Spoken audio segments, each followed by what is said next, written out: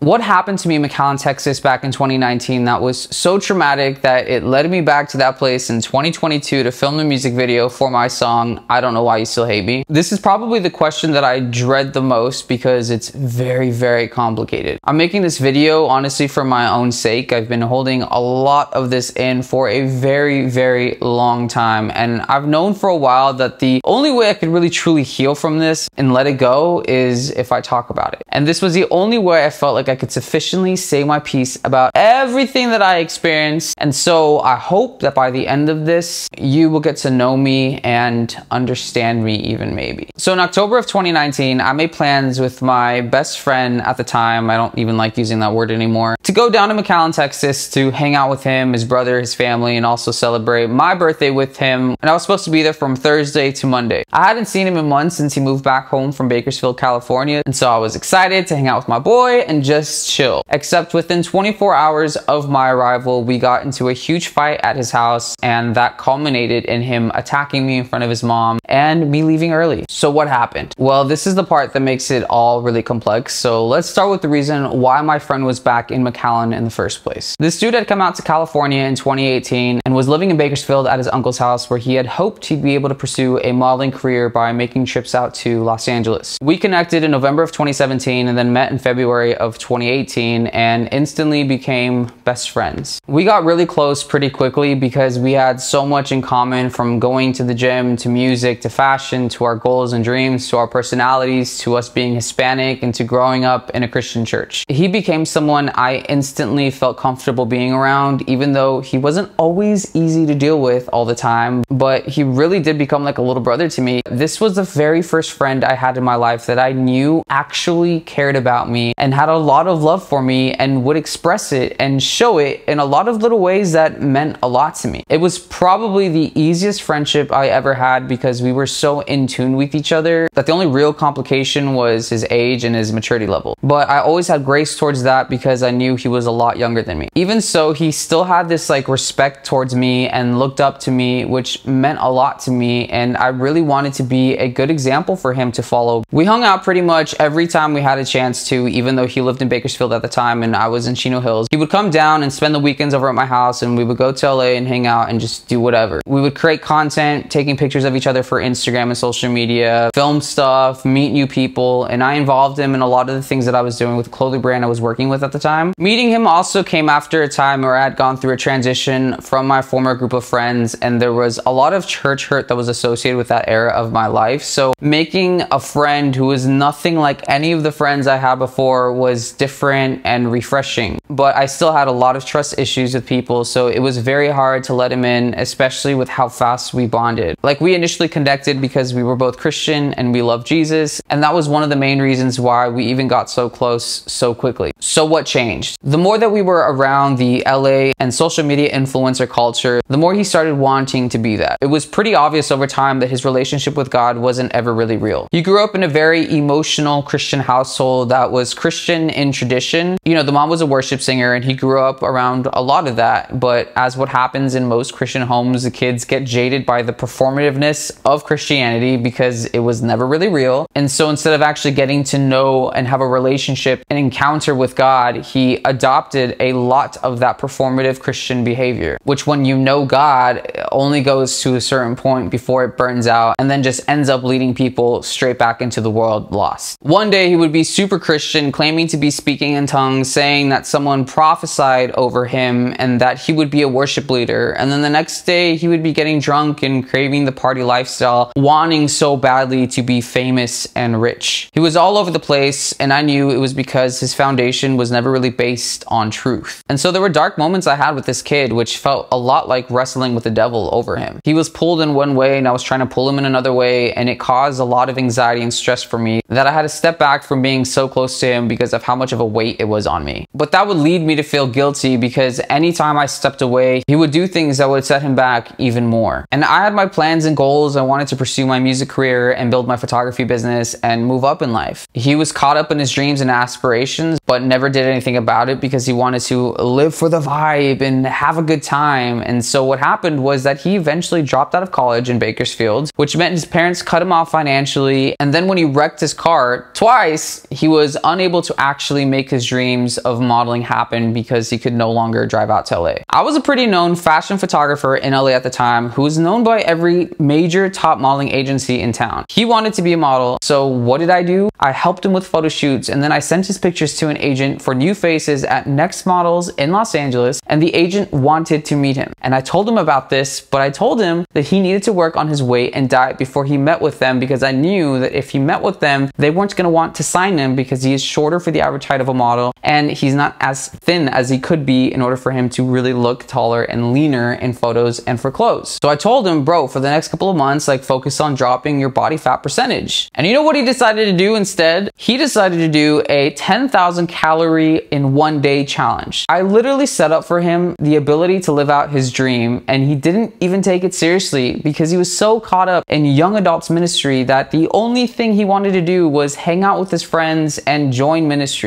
But that's how supportive I was of him that I believed him when he said that he wanted to do the things that he wanted to do. When he said, I want to be a YouTuber, I gave him one of my cameras for his birthday for him to start a YouTube channel. When he said, I want to be a model, I hooked him up with a modeling agency, helped him with photos. When he said, I want to be an influencer, I showed him everything I knew about how to grow a following, hitting up people to give him shout outs so he was able to grow his following on Instagram. When he said, I want to be a worship leader, I stood by him. I was like, dope, bro. Like, if that's what God's calling you to be, I'm totally for it. Like, whatever. I didn't care what he did. I was just to be there for it all. And I just wanted him to actually do something with his life. Towards the end of 2018, early 2019, I noticed a shift in his personality. He was clearly distant from God. And subsequently, it meant that this nice, humble, caring dude I knew was turning into a selfish, arrogant, and judgmental person. And it was this exact thing that made my friends that I would introduce him to like not like him. Like they didn't like his personality because they all thought he was a social climber, he was a clout chaser, and he was arrogant and like super smug. In February of 2019, his mom, in my opinion, made the worst decision to throw this kid a lifesaver by saying that if he moved back home to McAllen and went back to college, that she would pay for everything from school to his living expenses to his lifestyle and that he didn't have to work. This was the most stupid thing that any parent could ever do, specifically for this type of kid. And I get so mad every time I think about it because it happens so much in the United States among middle class parents who subsequently F up their kids because they're too afraid to let them fall on their asses. And this kid needed to fall on his ass because he grew up being way too privileged. And what she doesn't know and what he doesn't know is that in doing that, she basically told him, I don't believe you're man enough to survive on your own and I don't believe in you. By doing this, she doubted him and it rocked his confidence and it scared him. And so even though I know she did it out of love and out of concern, it was such a bad move because then it made him give up on himself. Even though at that point, you know, he was just working some random job and living just to work and working just to survive, she was right to be concerned for his future because he wasn't doing anything that was going to move him forward in life, but at least he was actually able to survive on his own. We're talking about a kid who had everything handed to him his entire life. I could tell that he honestly never felt like he had any sense of self accomplishment because his life was so easy. This was a good looking kid who always got people's attention because of his looks, so he never actually had to work hard towards anything most of his life. And so I think he needed this moment for him to see for himself what he's made of without any help. And he was doing it. He was living with roommates and he was able to pay his own bills. I mean, I think for the most part, I think his parents are probably still paying for his car insurance and probably for his phone. But for a 19 year old kid to be able to do that was actually a pretty big deal that I don't even think I ever gave him props for. But as soon as his mom intervened, he took the bait and she enabled him to regress several steps backward. And then before he left, he spent five days in Chino Hills with me at my mom's house on his drive back to Texas. And during these five days, I set up plans with all of my friends to go to the mountains, to hang out in LA, and to do all these fun activities because I knew it was going to be the last time I was going to see him for a very long time. And during this time, I knew he did not want to go back to McAllen. He was always telling me about how much he hated McAllen and always wanted to leave because he felt like he was meant for so much more. Now, the people there were all pretty much doing the same small town things, and he never wanted to be a part of it. So even though when he initially told me about the proposition his parents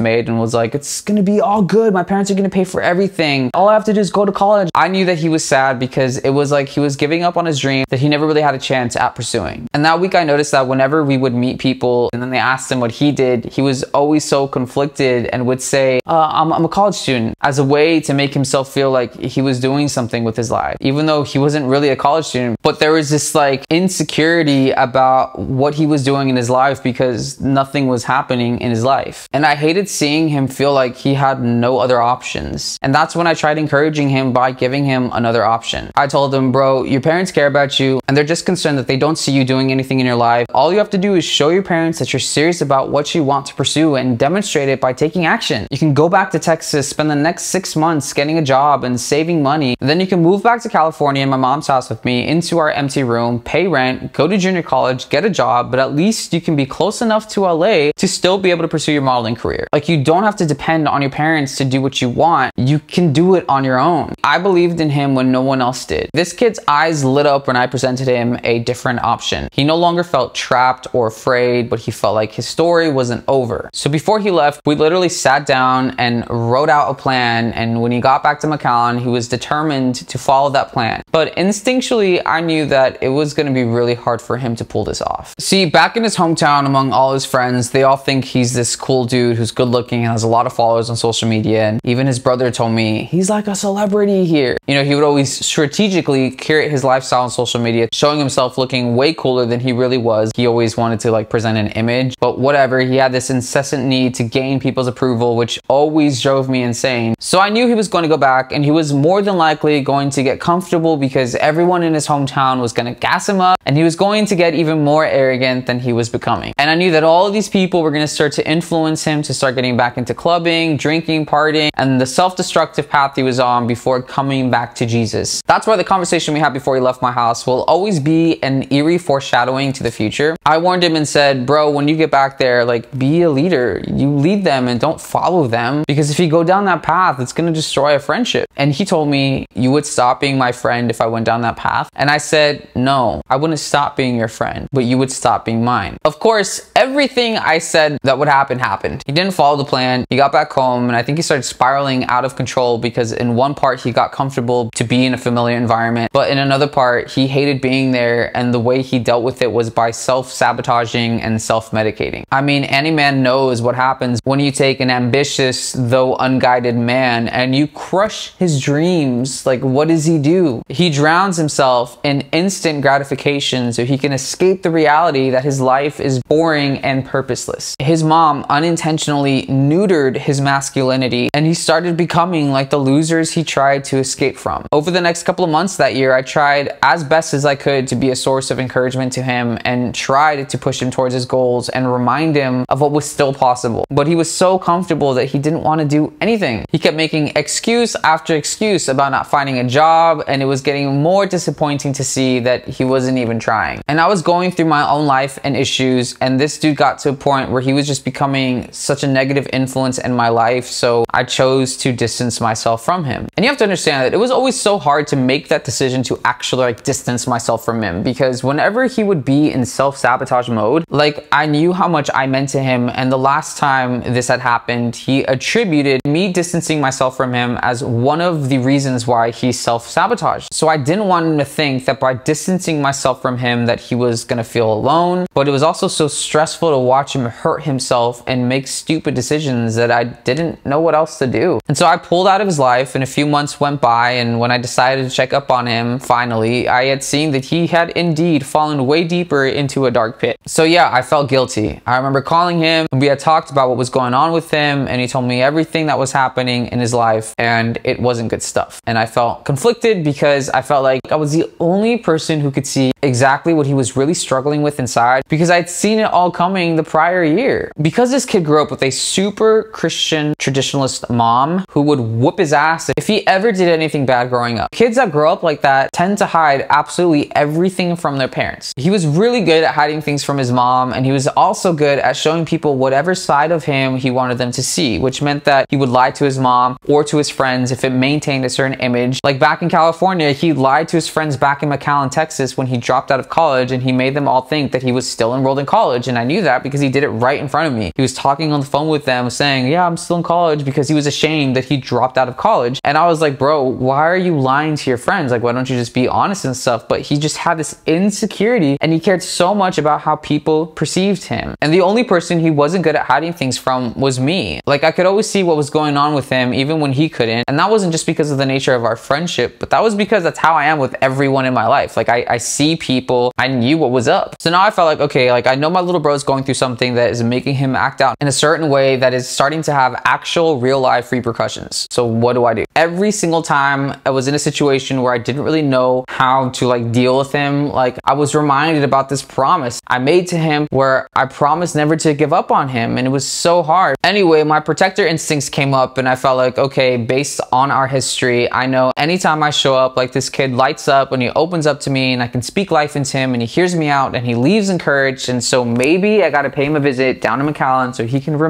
what is possible and I can help him overcome this dark moment, just like I've always have. So I told him about the idea and I was like, I want to come down hang out. And what do you think? And he was down. So we planned it out that I would come down in October of 2019. During this time period, I was also dealing with my own crap. I was drowning in debt to invest in my music career. I was driving for Uber, which I hated. My photography business was going nowhere and I was having problems with my mom. And I was stressed out and my spirit was basically dying. Being able to hang out with him was the refresher I was looking forward to. So I was excited to see my homie who I hadn't seen in such a long time, especially because it was a way for me to escape my own problems. It was clear that me being in his life was a positive influence because as soon as we had the initial call where I was like, what's going on? And he opened up to me, he said he was going to try to get back on track. I remember I encouraged him to talk to his mom. You know, I was like, hey, maybe you should tell your mom about what's going on with you so she could help you with what you're struggling with. Basically, for like the first time in our friendship, I felt like I crossed the line with him, but it was like very, very subtle. I don't even really remember what he said, but I knew that he was angered by me even making that suggestion. Like the feeling that I got was, I know you're trying to help me, but telling me to tell my mom what's going on with me is like the stupidest thing that you can say. Like it was a small moment, nothing came of it, but it was really indicative of what was eventually going to happen. A couple of days later, he added me back to his close friends list story on Instagram and posted on his story that he was going to go the next 30 days sober. I guess he initially took me off of his close friends because he didn't want me to see the things that he was doing. Our friend Alex told me one time that he told him,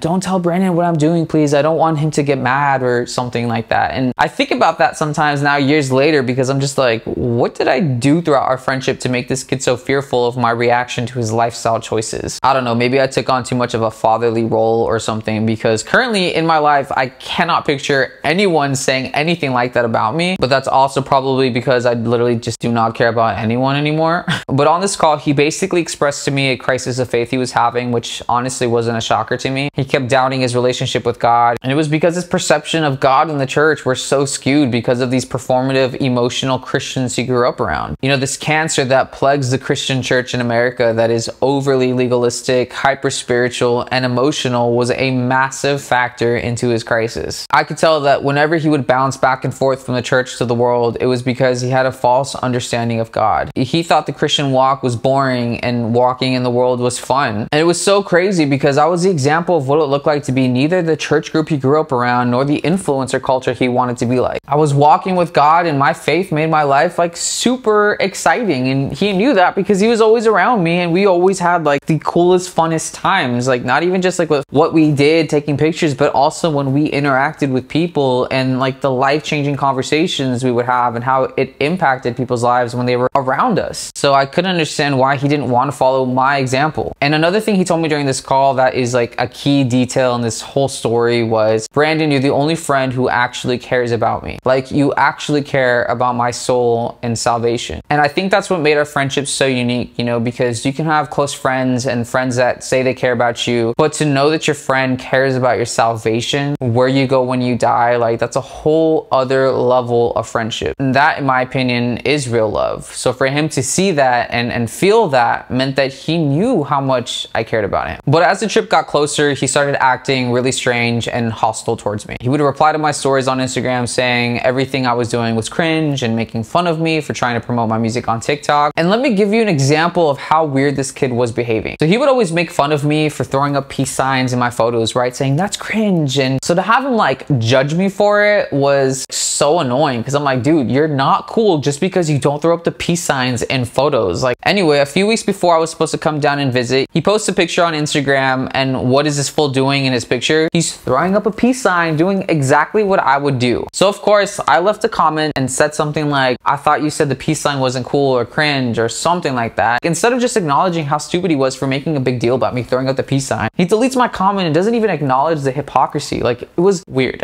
but whatever, I didn't read too much into his behavior. I pretty much always just justified the weird things he did because of him being younger than me and just more immature. Oh, but there was another incident when I would send him viral TikToks of these funny things that these other homies would do. And I was always like, hey, we should do like a TikTok playing music because you play the guitar and I sing and we can do something for TikTok. And his response to me was like, I'm gonna pretend like you didn't just ask me to do that. Like that's how arrogant he got. Like this kid was out of his mind. Oh, and not to mention too that around May of 2019, when he was back at home in McAllen, I kept telling him, bro, get on TikTok. You can pop off on TikTok. All these guys are doing it and you have a good look. You can build your Instagram following. Get on TikTok. He was getting depressed because his Instagram following wasn't growing and he couldn't figure out what to do. But I told him if you get on TikTok, you can grow your Instagram following. And if you grow your following on TikTok and on Instagram, you can get signed to a modeling agency and come back to LA. And you know what he said? He said, I would never go on TikTok. Everyone here would laugh at me if I went on TikTok. That is so cringe and I'm not gonna do that. He made it seem so beneath him. Again, all because of what people around him were gonna think. At this point, back in LA, I had already released my first three songs. I was focused on building my fan base for my music career and creating content for Instagram and YouTube with some friends of mine. I was hustling to make my dream happen. And I think it's fair to say that he was envious of that and was projecting his own failures onto me via social media. I mean, it makes sense. He made what I consider to be one of the worst decisions of his life by going back home where he had to give up his dream and then he was watching his big bro live the life in LA he still never really even got to have. So that's how I read a lot of the interactions we had before I arrived to McAllen. You know, we had different personalities when it came to our work ethic and life choices. You know, like I would say I would want to do something and I'd do it, and he'd say he'd want to do something and never do it. And the further away he got from God, the more insecure he would become. And so, of course, I was always going to be the target of his own insecurities, where he'd envy me, the one person who tried to help him. So there was something there brewing that I didn't really know the complexity of because, again, I was just excited to hang out with my bro and escape my current reality in LA. I had it all mapped out in my head. I was going to be there for five days. I was looking forward to hanging out with his family, getting to know his friends, and literally chilling. If you know me, I could literally just sit on a couch all day. But if I'm with my favorite people ever, then I literally don't need to do absolutely anything. And that's what I was hoping we would just do to do nothing with my bro and just feel so much at peace. I had no expectations other than assuming we'd probably take some pictures, go to the gym, and just like do whatever. I figured he had more of a plan of things that we can do to hang out, you know, since that was his hometown. But my plan was I'm just gonna have fun with him for the first four days, try to see where his head's at with his life and remind him of what's possible for his life. Then on the last day, I would actually directly confront him about everything that's been going on with him and have a deep talk. So what could possibly go wrong, right? So I arrive on October 17th. He picks me up from the airport in McAllen and I immediately get a sense that something was off. Every time I had ever seen this kid when he would come down to my house, he would always be so excited to see me and stuff. And so like seeing how he was like still in the car, wearing sunglasses, didn't get out to greet me or anything until like I gestured him, I felt like that was all completely out of character for him. So I knew something was up. So I got in the car and I remember the first thing he said was like, I almost forgot to pick you up. And I was like, oh, okay, what were you doing? Because, you know, that's the first thing you tell someone when you pick them up after not seeing them for a long time. And he said that he slept in because he'd gotten high the night before. And from my perspective, him going from like, I'm gonna try to be sober and get my life together to, uh, I almost forgot to pick you up because I got high last night and slept in. Like, this was someone that never smoked weed before. And this was the first time they were just like dropping this information on me. So, you know, I'm like, well, how am I supposed to react? Like, oh, okay. No, in this context, it's more like, whoa, bro, are you okay? Like, you're doing something that you like never did before and you were always against. So, you know, this wasn't just something to take lightly. Then in the car ride, we were talking and I could tell he was resistant towards me and super guarded and I didn't know what was up exactly. So I remember asking him like if everything was good. He was like, yeah, but he was just telling me about all of these experiences he'd been having, going to the ACL music festival and being around people who were doing drugs and how he dropped his English class and acting so smug because his mom didn't know. And I was just like, whoa, dude, like he just kept dropping these bombs of information and like saying all these things that again, in this context were really reflective of some troubling dark stuff, right? Because I'm here thinking like your mom offered to pay for your entire lifestyle so you can go to college, get your education, so you can make something of your life. And here you are revealing the stupidity of your choices, telling me that you dropped your English class because you were busy getting high. And again, this was like my internal monologue. Like these were the thoughts that I was having and I wasn't like saying anything out loud because I wasn't trying to create some sort of confrontation or tension. And so throughout the entire time I was in the car, was just trying, you know, not to react, trying to be chill and cool. But it also felt like he was trying to get me to react to it. And then it started triggering my anxiety because at this point, with how he was acting, I was like, I don't even recognize this kid anymore. Like his entire demeanor and energy was so different. And it was like he didn't want me to be there. So I instantly felt like I'd made the worst mistake ever by coming down. So I tried to suppress my anxiety and he was like, you know, what do you want to do? And I was just like, well, I just had a long flight. It would be cool to just chill at your house and catch up. And he like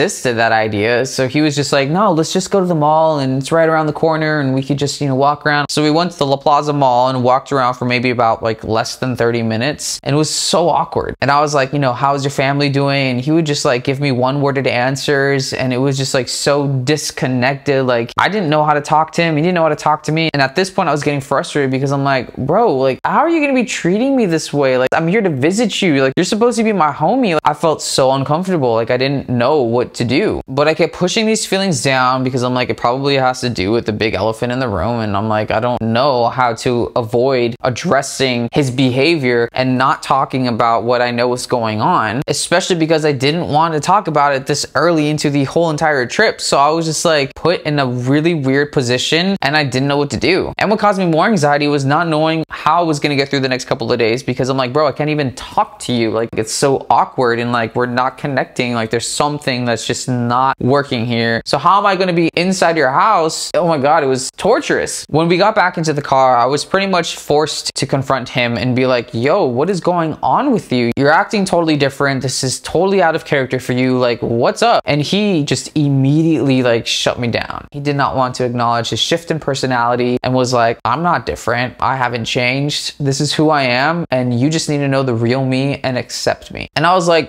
bro, you've changed since you got back here. Even the way you talk is different. Like you all of a sudden have some like weird accent. And he was like, you don't know me. The people here know me. He was acting hostile where he was resisting me, where he was trying to deflect and all these things. And I'm just like caught because I'm like, bro, like, what do I do? Like, I'm only bringing this up because you're treating me differently. Like, what I couldn't get through to him, it was nothing like any type of conversation I ever had before. He put up such a guard and resistance. And I was honestly really shocked because I'm like, bro, it's it's me. Like I'm always able to penetrate through this kid and I just wasn't able to. And so that ramped up my anxiety because I'm just like, dude, like I don't know what to do now at this point with this kid. I know what this is about. I know why you're acting like this and why you're acting hostile towards me, but I couldn't even express or speak about that because he would just shut me down. And it caused me to start shutting down internally. I felt completely trapped. You know, we pulled up to his house and I saw his mom and I had to pretend like everything was normal, even though inside I was dying. And he was on the phone the entire time when he was around me. He was just like not engaged with me, disconnected, like kind of like I was a burden to him. And then I'm just like, well, why did you agree to this if this is how you're gonna treat me? Like it was so off putting, so messed up. He didn't bother to set up the guest room and he was acting like he just didn't want me there. And I guess I would ask you, like, what would you do if you were in my shoes? Like, you can't talk to this person because they'll deny that they're acting different. So what? I even tried to fake it just to be civil, but I couldn't even speak. Like, that's when people don't know what happens when anxiety overtakes your body. Like, my motor skills started shutting down. I couldn't speak full sentences. And then when we went from the house to go play basketball with his little brother and his little brother's friends, I was just completely out of my mind at that point. Like, this is exactly what anxiety does. I'm just like trying to run away in my mind. I'm stuck in the middle of nowhere with someone I don't even know. I have to fake my way throughout this entire weekend where this person doesn't even want me here in their home. And I was just like completely out of it while we were playing. And the worst part is to experience this in front of other people because, of course,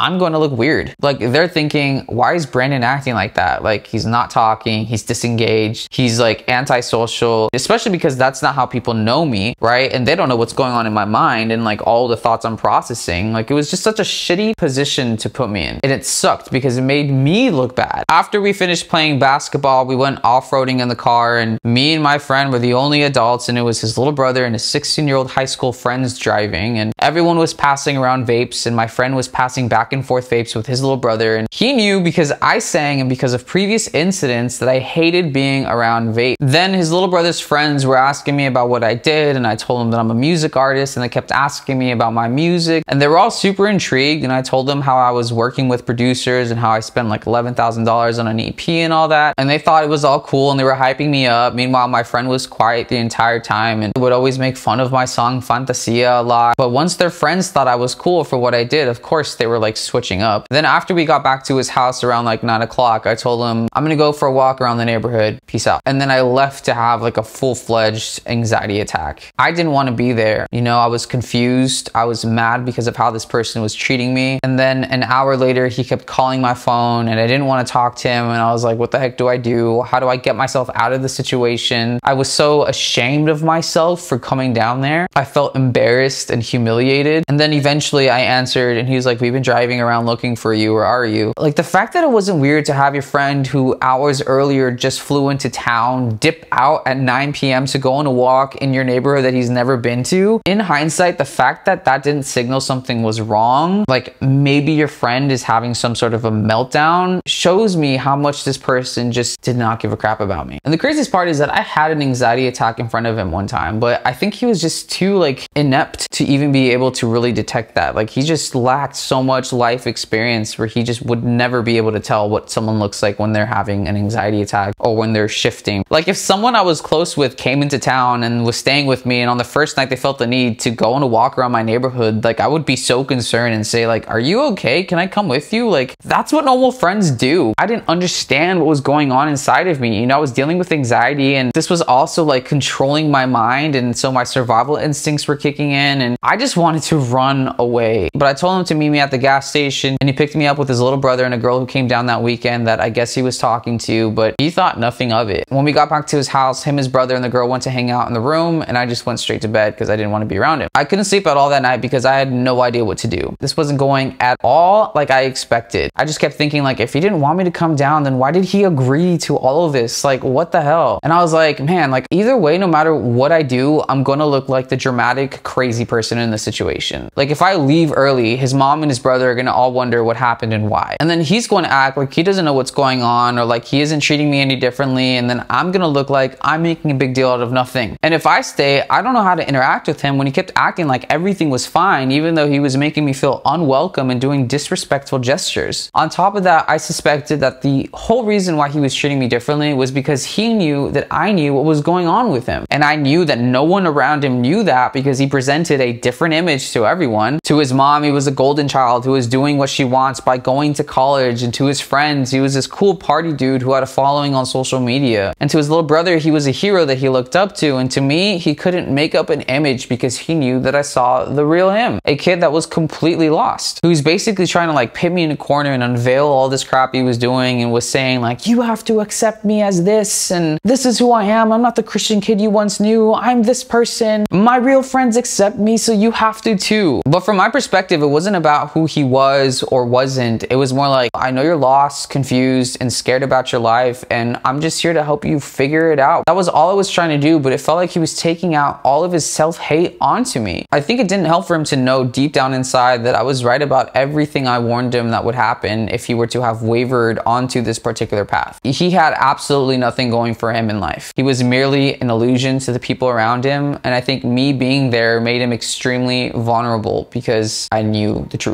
So it was no wonder why he was acting extremely hostile towards me, especially because I knew that the choices he'd been making were going to have lasting consequences, like him failing his classes, getting fired from work, and getting involved in drugs, and then getting his little brother involved in them too. He was spiraling out of control, and I was the only one who could see it, and that put me in a really tough position. And so at that point, there was nothing left I could do. I was so overly confident that I could go down there, hang out with my bro, and then talk to him and help him straighten it all out. But I had no idea it had gotten this bad for him to be treating me the way he was because it was completely out of character for him. I was struggling because I was like, you know, what is the right thing to do in this scenario? Like, this kid clearly needs help, but I can't help him. The only person who can help him is his mom, but what do I do? Pull her aside and tell her what's going on? That would end my friendship with him in an instant. And like, I didn't want to lose my friend. That was the whole point of trying to help him and be there for him all of this time. But at the same time, I didn't know what to do. Because for me, if I left and did nothing, something worse could happen. You know, this is someone who got into two car wrecks when he was in California that I had to help him through. And then there were some other sketchy situations he put himself in where I'm like, this kid could die from the stupid situations he puts himself in. Like imagining his mom being like, you knew what was going on and you didn't tell me anything about it. Like no thank you, I don't want to deal with that. And so in this case, the right thing to do was for me to tell his mom what was going on, to hand over this information I had so she could deal with it because I didn't want to be responsible over it. I knew that it would cost our friendship, but I was willing to make that sacrifice if it meant him getting the help he needed in the long run because again, this is what you do when you're a protector. Protecting the people you love means diving over a grenade and sacrificing yourself. But I had no idea how I was going to pull that off and I honestly didn't really even want to. So I told myself that I tried to talk to him again in the morning at least one last time. So the morning came, I woke up around like 6 in the morning. He didn't wake up until like 11:30 or so and I was already in a bad mood because I tried waking him up twice or three times and he wasn't waking up. So I was like, dude, this is so awkward being here. Like I have nothing to do and this kid is sleeping still. And you got to understand when you compare the experience of how it was whenever he came down to Chino Hills to stay at my house, like it was the complete opposite of how he was. I was still so hospitable considering I did not like bringing friends over my house because of my mom. Like I didn't want anyone around my mom. But every day when he was over, something was planned and we'd always do something fun and cool. So for me to be in his place and he wasn't being welcoming and he didn't know what to do with me, it felt just like so uncomfortable. Like my bad that I'm here. I thought no one else was home, so I was chilling on his front porch trying to figure out what the hell I did wrong to find myself in this position. Of course, I was mad at him and hurt by him because I was so excited for this trip and to see how he was acting and treating me caught me so off guard. Like I felt trapped and afraid of the one person that I thought I was gonna feel safe around. When he woke up, he came outside to the porch with coffee and sat down and acted like everything was normal, which made me even more upset. At that point, trying to have like a normal conversation with him was completely thrown out the window because again, I felt hurt. So I remember confronting him in that moment, finally telling him that I didn't want to be there. I told him that he was a lost cause and that he was super insecure and that's why he was trying to get the approval of everyone around him and that he was becoming a loser. I told him like, how are you going to take over your dad's oil company when you failed your English classes?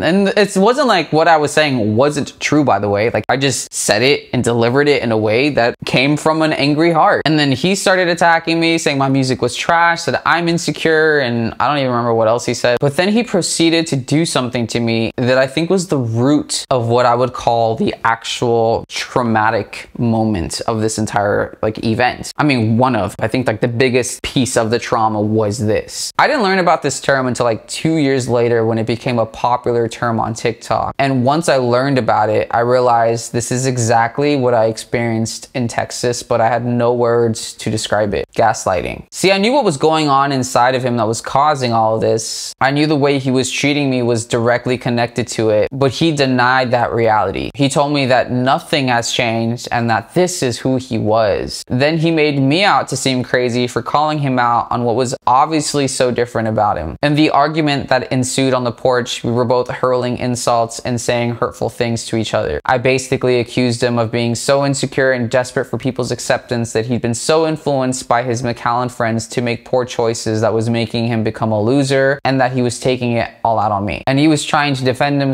by calling me crazy, saying that he was normal and, and that I'm the one with false expectations and that I'm asking him to treat me like I was his girlfriend. And that's probably like the worst thing you can say to another man. It was a complete rewriting of the truth. But I didn't know how to combat gaslighting like this because I couldn't identify what this tactic even was. But that ended up affecting me so hardcore because I didn't understand what was happening. I mean, I guess my mom had always gaslighted us growing up, but I guess I never expected it to come from him, you know, like changing the reality of something, especially me being a problem solver, you know, that is like integral to my personality to solve problems. And so for me to know and identify a problem that was going on that was causing everything, and then to be told that that problem does not exist and that in fact I'm just crazy, like that effed up my mind because I didn't know how to combat that, you know, like it made me question myself. Am I crazy? Is it just me? And it caused so much destabilization within my own confidence that never happened to me before in my life. Like when I got back from that experience, my confidence had shut down immensely in a way that never in my life had ever happened. And not even from my mom, who is like the destroyer of confidence. When I learned what gaslighting was and what he specifically did, everything made so much sense. And I felt so vindicated because I'm like, I knew that what was happening to me then wasn't normal. It wasn't me acting crazy. It wasn't me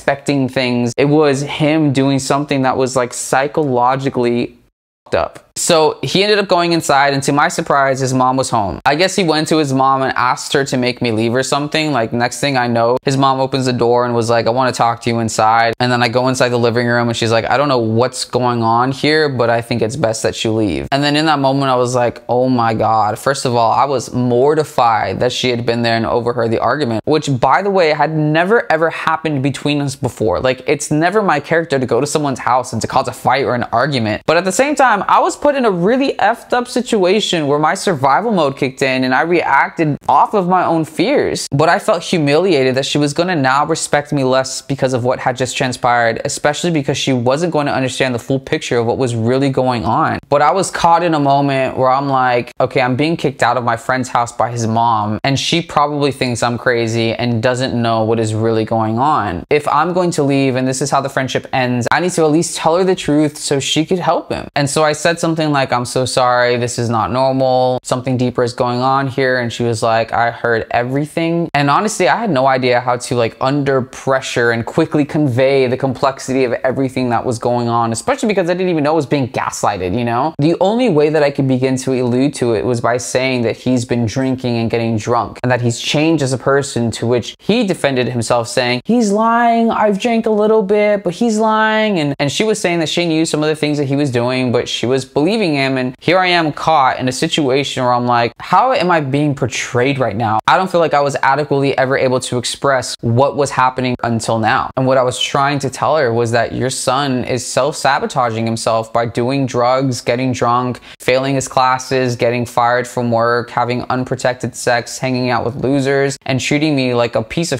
all because he's depressed that he had to give up on his dream. And now that he's doing nothing with his life, he's taking it all out on me and no one knows this but me. And that's why he's been so hostile and unwelcoming since I've arrived. Your son needs help. That's what I wish I could have said, but obviously I never got to say all that because didn't even know it until now. Instead, I know from their perspective, it probably sounded like, oh, your son is getting drunk. What a bad kid. Look, I'm this super holier than thou Christian who is passing judgment on your son because he's drinking. Like that wasn't at all what I was trying to say, but I didn't know how to get her to see the severity of what was transpiring without telling her what he'd actually been hiding from her. And since the drinking wasn't enough, the only other thing I knew to say to her to get her to see that something was wrong was to bring up the fact that he was sharing vapes with his little brother. There was a moment where she was like shutting him down and she was like, Brandon, tell me the truth. Did you see him vape with his little brother? And I was like, yes. And at that point, this dude charged at me across the living room, jumped on me, started pummeling me, hitting me, and his mom was screaming, Stop, stop, pulling him off of me. And then he was screaming, He's trying to destroy our family. And just he went completely unhinged. Then he ran into the guest room where I was staying and he grabbed all my stuff and he was like throwing my clothes out of the room. And then he was screaming, like, Get out. It was absolutely wild. Seeing him turn into this monster was absolutely unnerving. Of course, in the moment, I didn't react to it because I've already been accustomed to insane behavior like this from my family, but I really couldn't believe what I was witnessing. After that, he ran back into his room and shut the door and proceeded to block me on everything. His mom then took me to the airport. In the car ride, I tried to again explain what was happening, and this time I told her a lot of other information I knew so I could transfer the responsibility of it to her. I don't even know if she understood what my intention was or if she thought that I was just saying this to get back at him for our argument or whatever. Honestly, I have no idea. Then I got to the airport and had to call my mom to tell her I was coming home and that I had a falling out with my friend and all of that. Later that evening when I returned, I saw that his little brother had sent me a voice note on Instagram to which I saw but I never listened to. And I could only imagine how angry he was at me also, you know. I'm guessing once he got home later on, his mom, I don't know, they probably had some sort of family situation and they probably both got in trouble and then of course I'm the one that's to blame because I'm the one who ratted them out. So that's what actually happened to me in McAllen, Texas. When I got back home, I told no one about what had happened. The only person who knew was my mom. After that day, something inside of me just died. I couldn't believe what had happened and I blamed myself for so much even though I knew it wasn't entirely my fault. In December of 2019, I filmed a private video to send to him, you know, because I felt like his interpretation of the events were that I told his mom everything that had happened to hurt him because of the argument that occurred or because I was upset by not being treated a certain way. And if that's what he believed, then sure, of course, I'll look like the bad guy from his perspective, but that wasn't the truth. And honestly, I don't think the truth truth would have made any difference from his perspective because he probably wouldn't have wanted me to tell his mom anything in the first place, regardless. But that's what he doesn't understand yet. The choices you make as an adult are way more complicated than they are when you're a kid. When you know more, you're held to a higher level of responsibility. And you think he'd know that considering he's the older brother of his two siblings, but he never learned to be a leader, only a follower, which is why he never understood me. So I was trying to talk to him about it to make peace with the situation because I knew he hated me for what I did. But I wanted to explain that I did what I had to do to look out for him because I promised him that I would. But it didn't really matter. I remember putting the video on YouTube under unlisted and sending it to him through my headshot Instagram. And I assumed he blocked my number since he blocked me on everything else. I remember waiting every single day for about like two weeks to see if the view count would go up because he was the only one that had that link. So any view count would be from him. And I was like hoping that he had clicked on it and watched, but he never did. He more than likely saw my message and deleted it. But during this time, guess what happened? He got on TikTok and then blew up on TikTok. And so I knew this was going to magnify his arrogance and make him think that he was an even bigger legend than he previously thought he was. This was probably the worst thing that could happen to someone in his situation. But at the same time, I could not help to feel like, bro, I told you so. Can you imagine if he would have listened to me originally? And the only reason why I even knew about that was because when I went to go send him the video, I went on his Instagram and I saw this follower count went up and he had a link to TikTok in his profile saying, go follow me or whatever people were doing at that time. And so I was like, oh, he popped off on TikTok. But I never actually went on or saw anything of his on TikTok. Then in 2020, I released my music video for Too Late. Our mutual friend Alex was playing one of the lead roles in the video and he basically played me and then my friend Antonio played him. And this video was like a dramatization of our friendship. Obviously, like it was not exactly the same situation. I put it out there and it impacted so many people who came across it. And then about a month later, I released the backstory video on Too Late where I explained why I released the video. And that was basically the last time I talked about the situation publicly. And then of course, the world changed. A week later after I released the backstory video, the pandemic started and we were all locked in. I think I had hoped that during this time, like he would have compassion and just like, I don't know, feel like the world is going to hell. Maybe I should fix this situation with this person I used to be close with, but nope.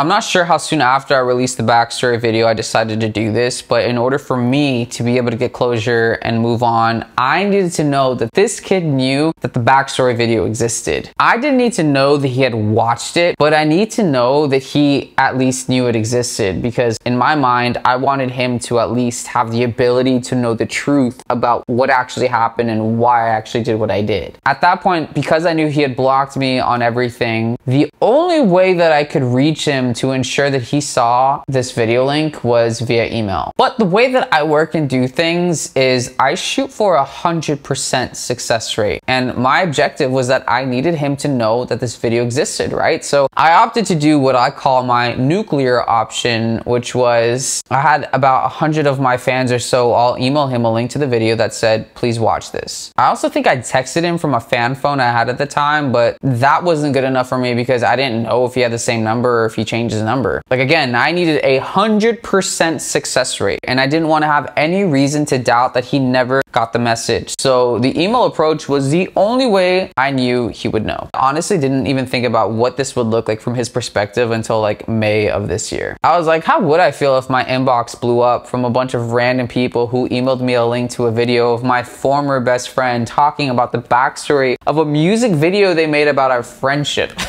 I'd probably feel like he was talking about me to all of his followers or something. But I honestly didn't even think about that because from my perspective, like none of these people even knew who they were emailing. I literally posted on my story a poll that said yes or no, I need help. And everyone that said yes, I just asked them, hey, can you email this email address, this link, and say, please watch this. That's all I did. And I sent that to everyone who messaged me back, and they all did it. Plus, during that time, I was doing the same thing to get in front of journalists so that they could write an article about the song Too Late. I never exposed this person's identity or name ever. Like I never had any intention to. But from his perspective, I guess it could appear like I was talking about him or whatever. I had my 100% success rate because that same evening, he had his brother and cousins leave hate comments all over that video. So I guess the video didn't have much of an influence on him at all. And it was clear he still hated me based on the comments that they were leaving me. So there was nothing more I could do from there. So that was it. I continued on with my life, just trying to get through the pandemic the way everyone else was and, and eventually released another song later that year called Goodbye. And throughout this whole time though, it was so hard for me to forget about everything. You know, there were so many different emotions I had to process. Like in one part, I felt like my friend died. Another part of me felt like I died and I stopped being the person I normally was. Then another part felt like there was this injustice that this person caused in my life and that it was just not fair. To process these feelings alone was hard. They resulted in me having a lot of dreams that he was in where we would be out with my friends and I'd see him and I'm trying desperately to reach him, to try to talk to him, but he would be so resistant and he would reject me and he would like turn away from me and it caused so much turmoil within me. Because for me, I didn't have peace because I felt like he had a twisted perception of why I did what I did and it haunted me. I felt like I needed to clear that up because in my mind, I'm thinking like, how can you hate me for being the friend you knew I would be? Like, especially all this time later when I was right. It sucked because I'm thinking like, bro, you created a version of me in your head to make it easier to hate me instead of being able to see the real me who was the person you always loved being around. And I really, really missed my friend, but it was like he was dead. And it felt like worse than death, you know? Like at least when someone dies, you can celebrate their life and hold on to the memories of them. But in this case, this person died and the memories were all tainted. It was just really twisted. And so that's why I did everything I could to block it out of my mind in my memory and why I never really wanted to talk about it to anybody. So I moved on as best as I could, but deep down there was always this sadness that I could never escape from because there was just this one thing with this person that I was never able to fix or resolve. There was an instance where I had a dream like this and I woke up incredibly emotional and it was the same kind of dream where I was trying to talk to him and tell him what I'd been wanting to tell him and, and he wouldn't allow me to and it crushed me. I don't remember when it was, but I knew it happened sometime in 2020, but I remember waking up in the middle of the night texting him. And the craziest part was that because I believe like he had blocked me, like I never thought that he would ever see that text message. And I guess what that was for me was like, you know how when someone loses someone and they want so desperately to be able to talk to them, so they text their phone even though they're not going to respond, or they listen to a voicemail, they're looking for something to connect with this person that they lost. That's what this was. And it's just so embarrassing now because I don't think he ever changed his number and I don't think he ever blocked me. So I think he did get that text message and I don't remember what I said, but I'm just like, man.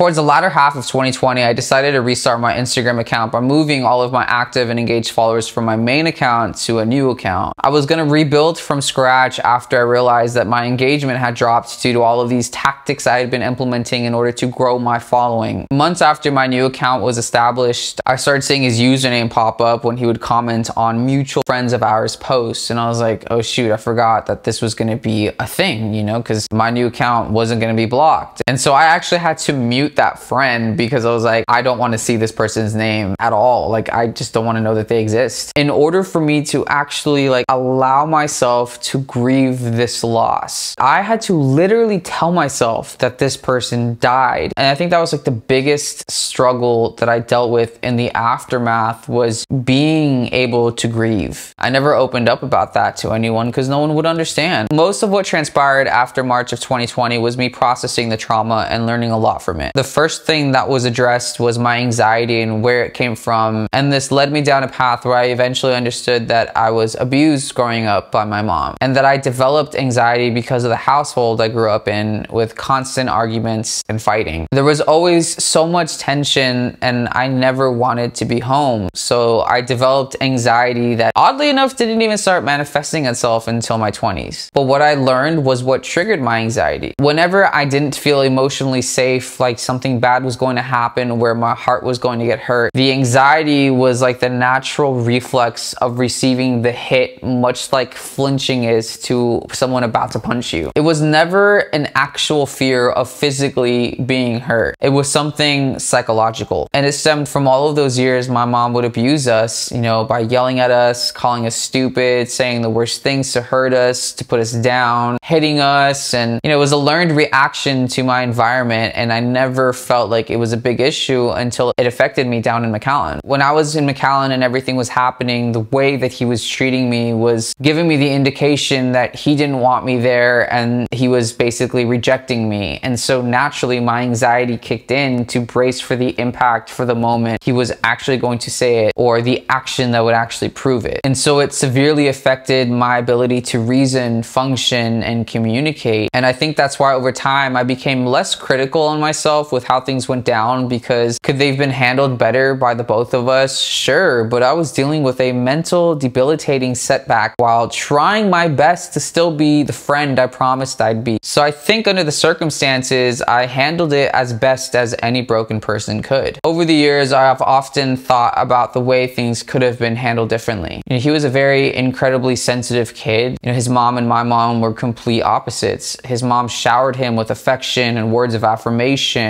and my mom withheld affection and destroyed us with words. My natural instinct was to hurt back when I was hurt that morning when we were arguing on the porch. And sometimes I wish I could have tried a different approach. I wish I could have built him up, spoke with love and grace, especially because I knew that that's how he received affection and love. But I didn't know how in that moment because I was clouded with my anxiety. This is what I wish I would have said in that moment on the porch that morning. Hey, bro, I just want to you know that I love you and I'm concerned about you. I know you said that this is who you are and you're not different, so I'll accept that. But I just want to let you know that I think the world of you and I think that you're destined for so much greatness. And I just want to remind you about the reasons why I think you're so cool to me. I think you're so talented. You know, you could play the guitar in ways I wish I could, and you have an ear for music. I think you're creative and the way that you approach and build your aesthetic, I think is so dope. I think you're funny and I love talking to you about anything. I think you're actually really smart. And when you put your mind to something, you do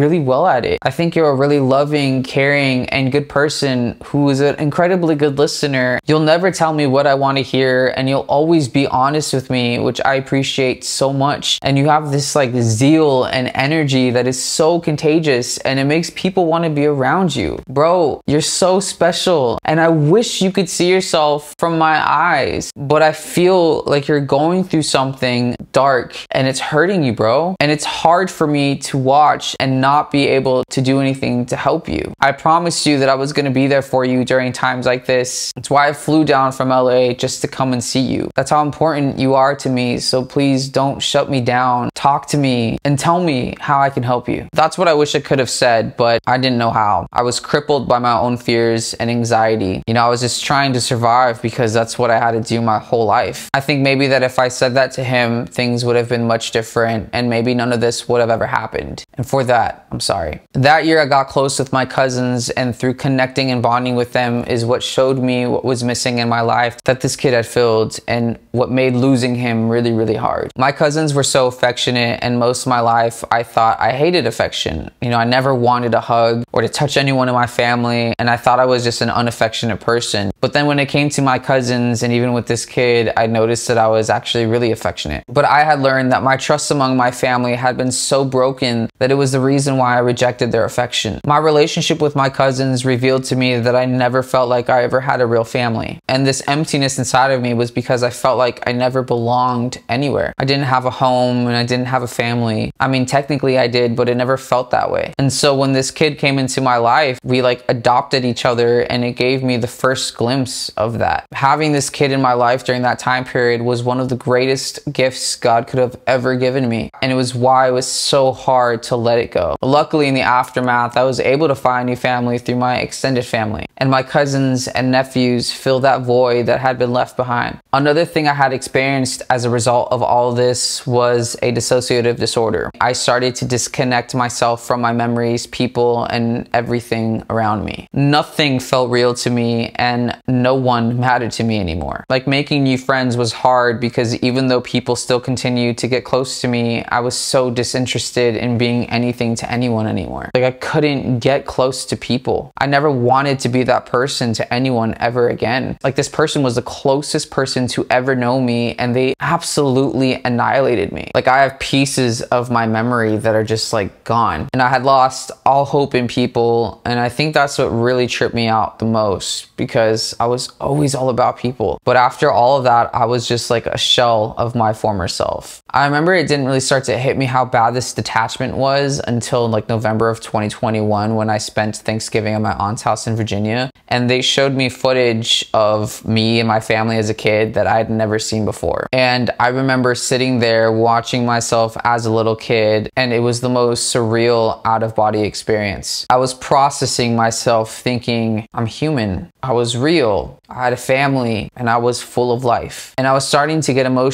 because I was remembering what felt like someone else's memories. And oftentimes in my life, I would split myself into two personalities, you know, the real me and then the professional me. And I think the reason why I've been able to progress so much in my life looking unharmed was because the professional side of me took over and thrived. But the personal side of me either died or was stuck in McAllen. And you know, I learned that most people who have a traumatic event are usually stuck in the moment that the event occurred. But throughout all of this, I was still able to do so much. And I think that was mostly due to the fact that I knew my purpose and had faith in God. I think knowing your purpose in life is what really grounds you through times of distress because I knew that God was still somehow going to take everything messed up and use it for his glory. And he did. But it was just hard because even though I kept doing things in my life, like meeting new people, having a ton of new life experiences, and hustling to make my music happen and to grow my business, there was always this sadness that lingered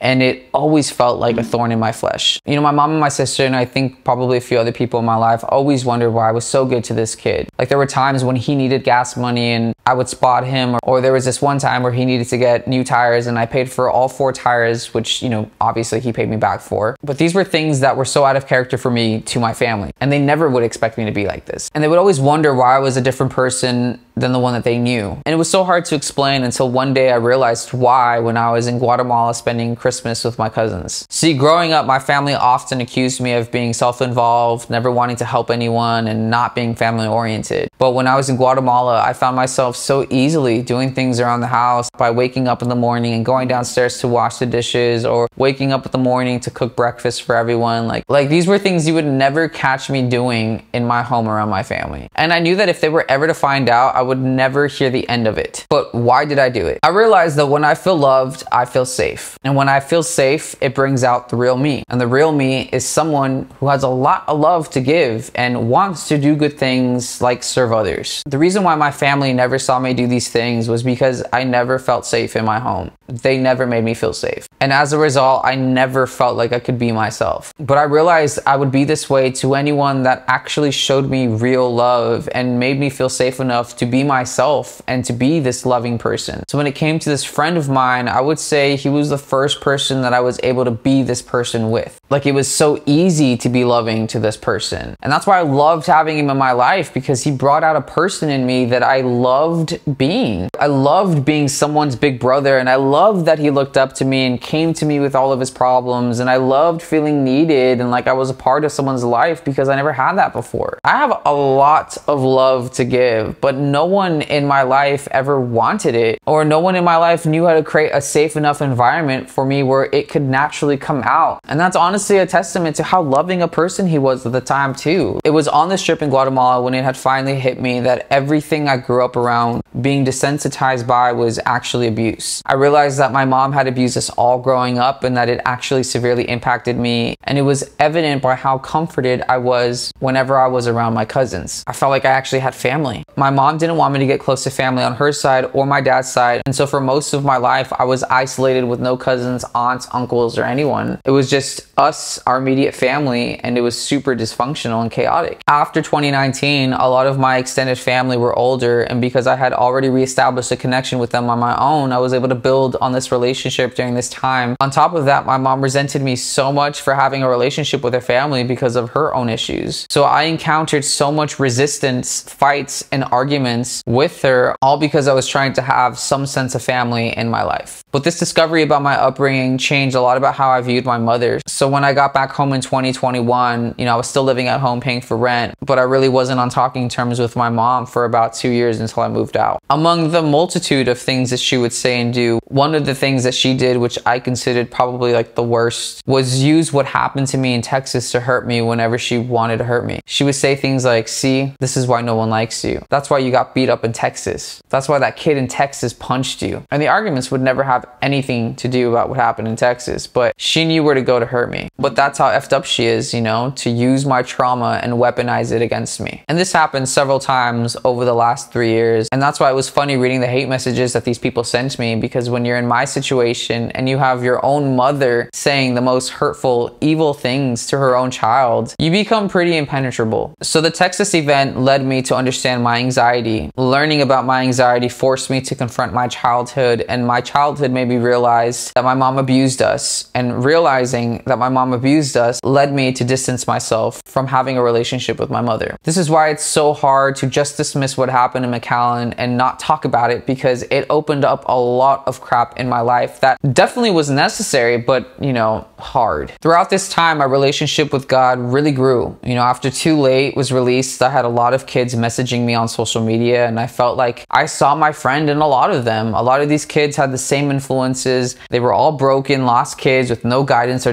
directions, but they also like talked like him. Like the random things that he used to always like talk to me about and share with me is like what they would say. I hated it because I would see him in all of these like interactions and it just made me miss him. But for whatever reason, they were drawn to me and I took that real seriously. You know, I believe God used this time to really narrow down on what my purpose is in life and what he wants me to do. And very simply, what I believe I'm called to do is to invade the culture and turn young men into kings. I believe that I'm meant to lead a generation of boys who will become the most loving, fearless, wise, honorable, and powerful men. And I believe that God needed to use the closest person to me to create motivation. I think I'm meant to give people another option. You know, after everything went down in McAllen, I hated social media. I hated everything about the influencer culture. I hated TikTok and I blamed it for the reason why my friend became what he became. And I saw the negative impact it was having in the culture among young males everywhere. Like I remember my friend Danny, who he was when I had met him and the things that he would talk about. If you were to compare that to who he is today, you'd be blown away. Like Danny snapped out of that trance super quick to get his life together and now I know he's going to be incredibly successful in his life. But I had so much resentment towards social media, especially after hearing that in May of 2020, my friend ended up getting discovered off of TikTok by Next Models and then getting signed to a modeling agency. One day my friend Alex randomly texted me saying that this kid got signed. And then that was the first time I actually had gone on his Instagram to see what had actually been going on in his life. And I was actually really happy for him because I knew that this is what he was wanting, but I felt sad because I was like, man, like I'm supposed to be be there celebrating with you, bro. Like, not only did I tell you to do all of this one year earlier, but I was always rooting for this moment. So it was just like another reminder as to why I just never wanted to see what he was up to because it would just always make me so sad. But also, I knew that it was going to make him think even more highly of himself now. I just felt like he was going to turn into even worse of a person. And luckily, I wasn't around to find out. But I think this is the life that most kids in America want. You know, they think they're defined by followers and social media. And that's what ended up sickening me about the whole thing, even when I reflect on my own behavior and how I would portray myself on social media. And that's basically what my song Pretty Boy Famous is about. You know, it was me making fun of myself and the culture because that's what I spent most of my 20s being around. And that's why I really valued being around my friend Danny because he's just not about that at all. And he's like the complete opposite of this kid from McAllen, you know, for all of the good reasons. Danny came into my life at a point where I had given up on people, where I rejected my purpose because of this kid from McAllen, you know, but witnessing the growth and maturity in Danny, you know, in the last two and a half years that I've known him. And more importantly, seeing Danny start to value loving people as a result of our friendship was what restored my hope in people. Because that's what this is all about. If I could summarize this whole entire story about me and this kid from McAllen into one word, it would be love. And that's why it's so funny the things that they kept saying, the hate messages like, you're so obsessed with him. You were crying over another man. You built your entire career off of him. You're like a crazy ex girlfriend. Like, I knew exactly what they were trying to do. They were trying to emasculate me and trying to reduce everything into some type of gay love obsession. And the thing for me is that I'm just like, what are you doing, bro? you know that this isn't true. So why do you keep trying to pervert this? And why does it feel like you want that to be what the story is, even though you know it's not? I think the objective was to try to make me stop caring or something. But that's the thing is that loving people is my power. It's rooted into every single thing that I do. But everything that I've learned from this was the importance of why I have to continue to love. This whole event showed me the importance of a friend like me in other people's lives because I'm rare. Like I truly believe that if the world had a friend like me, that there wouldn't be suicides, mass shootings, drug addictions, depression, and chaos. And so for those people to try to reduce the integrity of my friendship is the most lazy, stupid deflection of reality and truth. But honestly, it's also what most males will customarily do when they feel inferior to this type of power. Real power. So for them to try to twist it and pervert it to make me feel insecure because I care, who are you kidding, bro? Sometime around January of 2021, I discovered that this kid also blocked me on Venmo. And I don't even bother looking for this stuff. I just learned of it by putting two and two together. You know, on Venmo, you could search and see people he would regularly send money to. And so I saw one day like, oh, his name no longer appears. I wonder why. That's weird. I didn't know you could delete it because I think I had tried to delete his name and you just couldn't, right? So I decided to type up his name and I was completely blocked. And so I thought, well, that's weird. It's been over a year since everything happened. Like, why would you block me on Venmo? Anyway, this prompted me to go check to see if he had found my new Instagram, which I learned that he did because he blocked my new Instagram. And so my immediate thought was like, man, he still hates me and he doesn't even know the full story. Like, it started to get to me because all I wanted for the last year and a half was the opportunity to talk to him about everything and he refused to ever let that happen. So then I started having the dreams again and I was so distressed and I had no one really to talk to about any of this until one day I decided that I really should probably just try talking to my friend Alex, who was our only mutual friend. My plan was to open up to Alex about how everything was affecting me and try to get him to facilitate an opportunity for me to send this kid a message, like the message that I've been trying to communicate to him over the last year and a half and in my dreams and all that. So me and Alex met up one time in my studio and I just remember being so terrified to talk to him about it, you know? Why? Because I think I was afraid he was gonna say like, man, you're still stuck on the situation, you gotta move on and just like dismiss my feelings and how hard it's been on me. I felt like I was going to annoy him or burden him with the situation. So I was just scared that somehow I would get hurt by being this vulnerable about the situation because the truth was I wasn't healed and it was still affecting me. And to my surprise, Alex heard me out and he understood me and he did something that I will never forget that no one has ever done for me. He intervened. When I asked him if he could talk to this kid on my behalf so that I could send him a message and get closure because it was affecting my mental health, I didn't know if he was going to take it seriously or not, right? Like I didn't know what he was going to do, but he had called him right after he left from our conversation and talked to him. And a couple of hours later, he told me that the kid agreed for me to text him and to get closure from all of this. And I was just like so overwhelmed because I never thought this was going to happen, especially as fast as it did. Alex told me that he was going to text me and I made sure to give him my number because I was sure that he didn't have it anymore. And this was the moment that I had been waiting for for such a long time. So later that day, I spent hours writing out everything I possibly could about the situation and what went down and taking responsibility for my part and also acknowledging the truth as to why everything went down. You know, my hope was that he would understand that I didn't rat him out to his mom out of vengeance or malice, but out of concern and because I promised that I would be there to protect him in a moment just like that. I had hoped that maybe he would see me and not hate me for what I did, but could understand me and forgive me. But I mean, this was the first time we were ever going to talk directly to each other after over a year since everything went down. And there was nothing more important to me at that time than this. And it was so I could find my peace again. So then the evening comes and he texts me a long paragraph. And after reading what he sent me, I was like, this is not at all how I wanted this to go. I should warn you that there is no part of this entire story that ever gets better. It just will continue to get worse and worse for me. anyway, I had told Alex that all I wanted was for me to send him a text message with everything I'd been trying to say, and that was it. Like, I didn't need this dude to respond respond. I didn't need it to be a conversation. I wasn't looking for an apology, nothing. I just wanted to send a message and that was it. That's all I wanted. His message was basically him trying to show me that he wasn't mad at me and that he doesn't hate me and he wasn't affected by what happened and I shouldn't be so hung up on a situation that wasn't really that big of a deal. And sorry if I ever hurt you, but you know, you're strong and you'll get through it. And then he said, please don't send me a long paragraph text message back. Mind you, my anxiety was through the roof and I had this whole thing written out already. So I responded to him and I was like, I didn't need you to send me anything. I only wanted to send you this message and that was it. So the next text is going to be the last message I'll ever send you. You can decide to read it or not. That's it. Goodbye. Then I copied and pasted to him the message that I wrote. I was like relieved. I was like, cool, this is all I wanted to get out of this, whatever. His message to me didn't mean anything. But was it done? No. He texted me back saying, LOL, I'm not going to read all that. Good luck in life.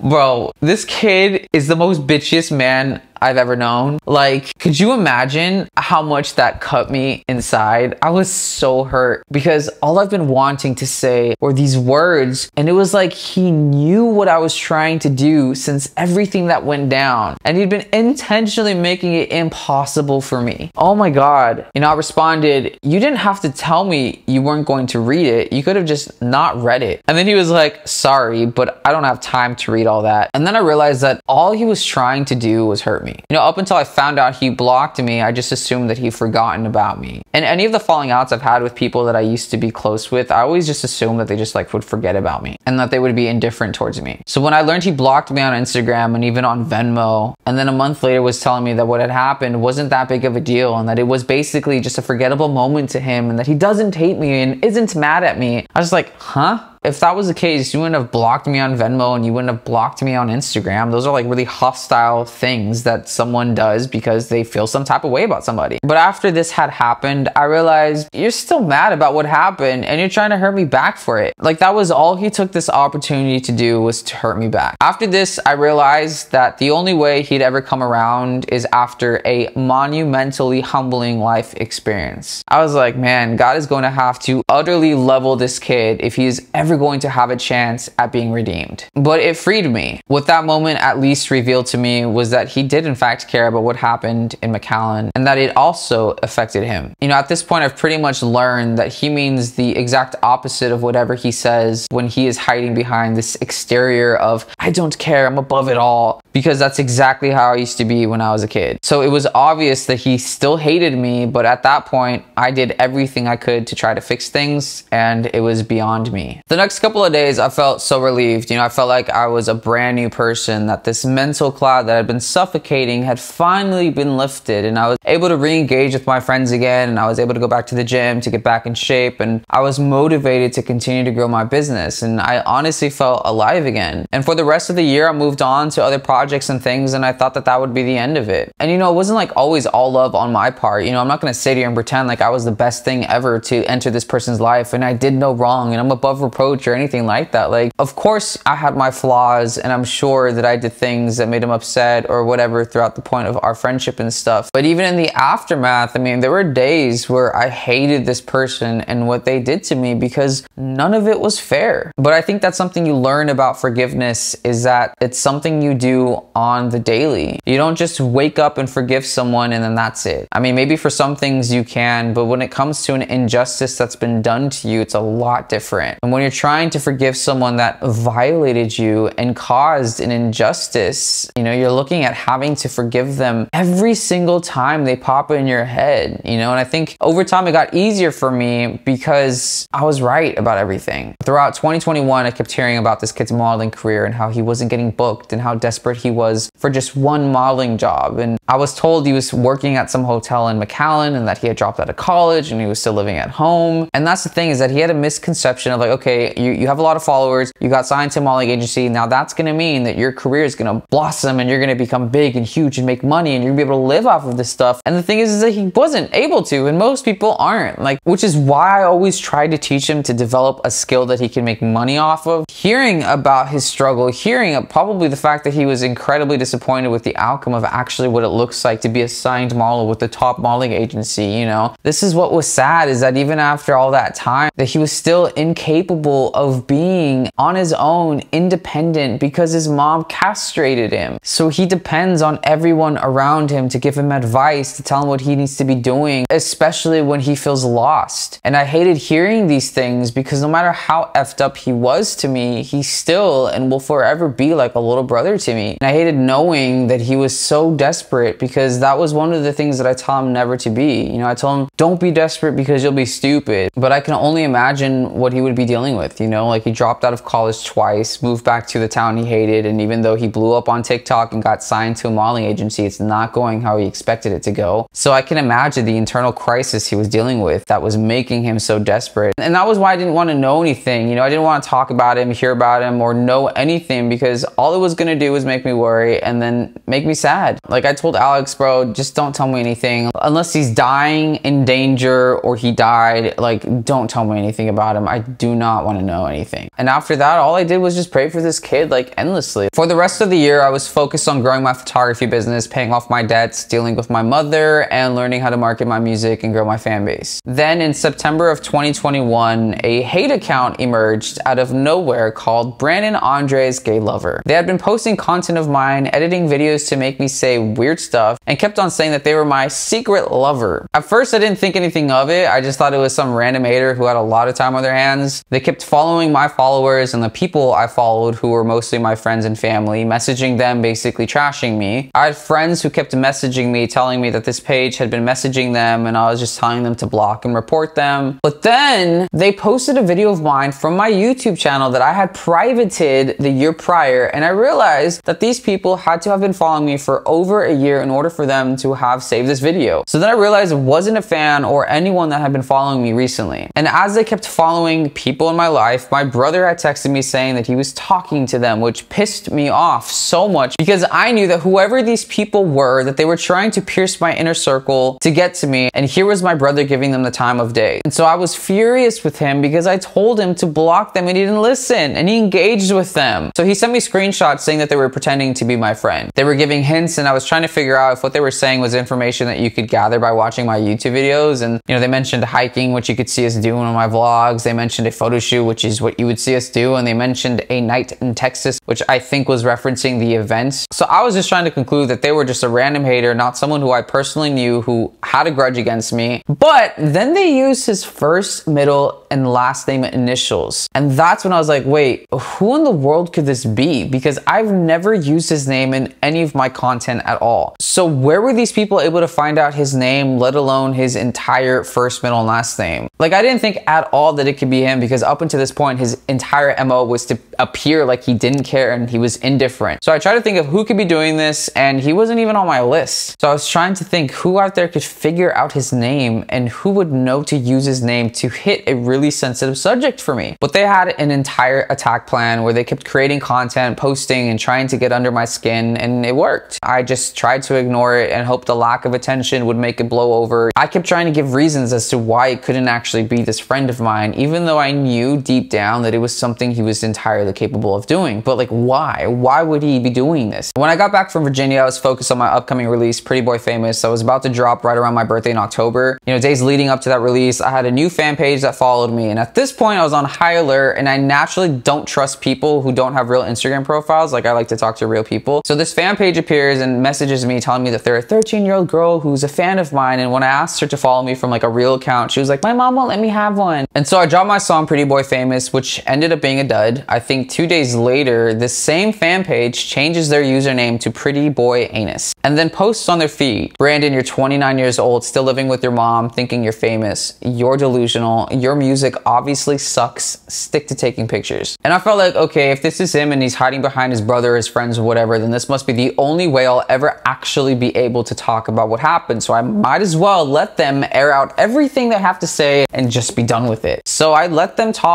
and throw their speculations. They were saying that I'm obsessed and I built my entire music career off of this person, which I thought was like the weirdest and funniest thing ever too, because if you're new to my music or if you don't actually know me or know what these songs are about, you're never gonna think this person is making music based around one person. The only person who would think that is him and his brother. And so the more they kept talking, the more it kept pointing back to both of them. Like this kid would always use capital ha ha ha ha ha as a way to like laugh and mock something. And that's exactly what they would do. Another thing that they said was that I was trying to copy him and steal his cloud and one up him with my life. And I thought, I've refused to even go on this kid's social media. So why would I be trying to copy him? And like, what would I be copying him for? Because I don't even know what's going on in his life. And then when I told them that I had only gone on this kid's Instagram like twice in the last two years, they switched it up and said that something was wrong with me because I couldn't even go on his Instagram and that I was exhibiting behaviors that were either attractions or that I was codependent. I was already under the belief that they had a twisted perception of what happened in McAllen, right? Everything else they were inventing in their heads wasn't going to surprise me. And the thing was that he used to do this all of the time. Like when we were friends, he would always take the things I do and try to interpret them differently. And I hate when people do that, especially because I'm always clear about why I do things. Like I'm the type of person where I say what I mean and mean what I say. And that's something that most leaders naturally do because if you're going to teach someone and lead someone, guess what? They're going to ask why. And so you always have to have an explanation. That was the whole reason why I was trying to talk to him because I wanted him to have the right explanation behind the choices that I made. So seeing how hard they were reaching for an explanation that would make me out to be crazy was not surprising at all. But it was also the reason that it made it so obvious that it had to be him and his brother behind these hate accounts. I felt like he kept projecting his inner feelings, starting with like the obsession accusation. You know, you're out here saying I'm obsessed, but you're creating hate pages of me. Like,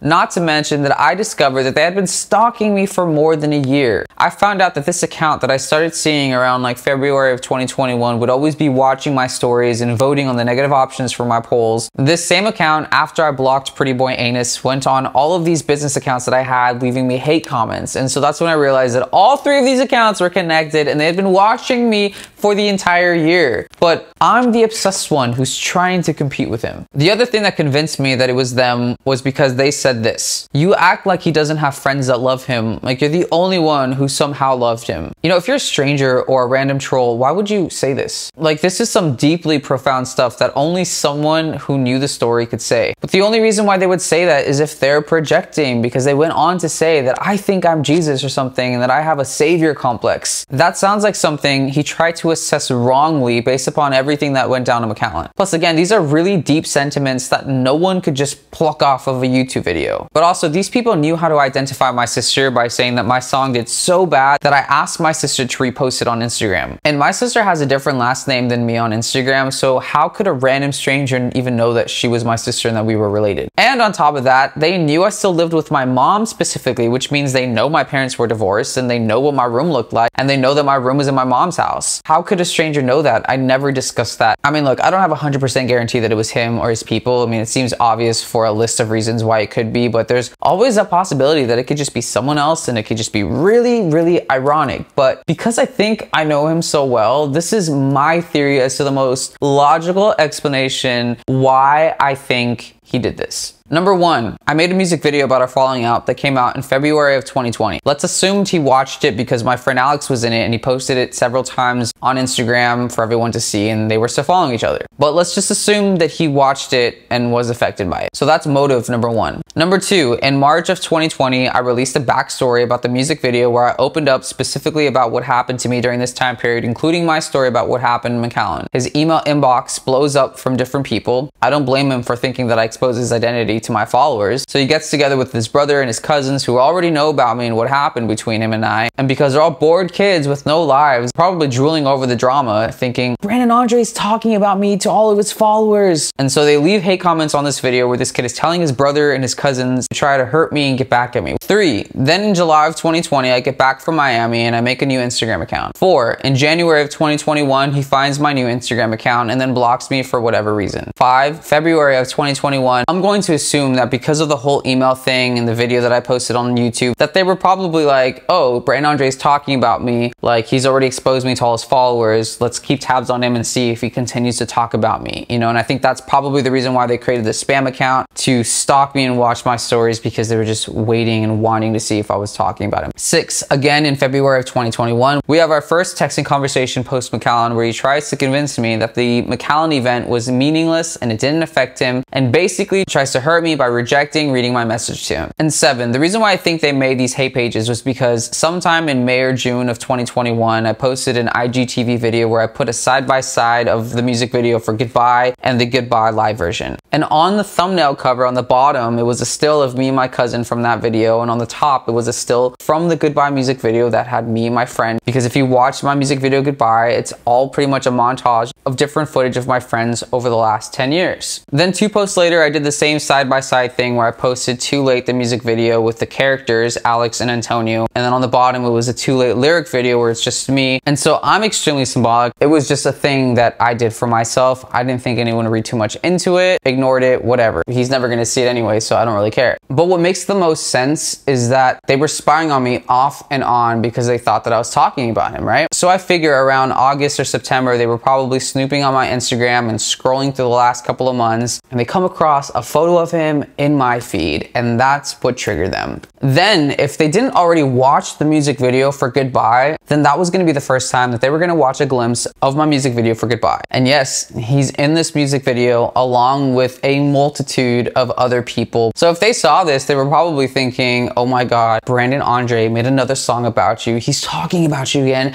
He's so obsessed. And like none of these songs were even about him. Like that's what's so weird. It's like Thanos acting like the entire Marvel cinematic universe is all about him. No dude, Too Late was written literally to me. It's a letter to me from everyone that never noticed my pain in my life. It was about me and Goodbye was about all of my past friendships and relationships. It wasn't about one single person. I think that if this is the train of thought that they were following, then they probably now have an even bigger motive. And at this point, he would have been like 22 years old. And you're probably thinking like, what kind of 22 year old grown man does something like this, right? Well, he couldn't do it alone. This kid has way too much pride to do this on his own. But if his little brother, cousins, and friends are the ones encouraging him, then of course he's gonna feel empowered to do it. He's not gonna feel like this is weird or creepy because he's technically not the one behind it. It's his entire support group. Like, I think that's how they justify the absolute insanity of what they did. Plus, he did this before. He hid behind his friends in the past in situations where we got into an argument. He told me one time that it was his friends from Bakersfield who was texting me things that he didn't mean to say when I had distanced myself from him briefly in 2018. Then in late 2018, he told his friend to leave a comment on a post of mine on Instagram calling me gay. And then when I confronted him because I knew it was his friend, he was like, yeah, it was just a joke. We were bored at work. And then he did it again on the backstory video on YouTube where he had his brother and his cousins do it. So that's already three examples of him hiding behind people to like attack me. So this is the only thing that makes sense as to why he specifically would be behind this. The only other alternative theory is that he's literally crazy, obsessed, and deranged. So I screen recorded the entire conversation and debated on confronting him via text, and I really didn't want to.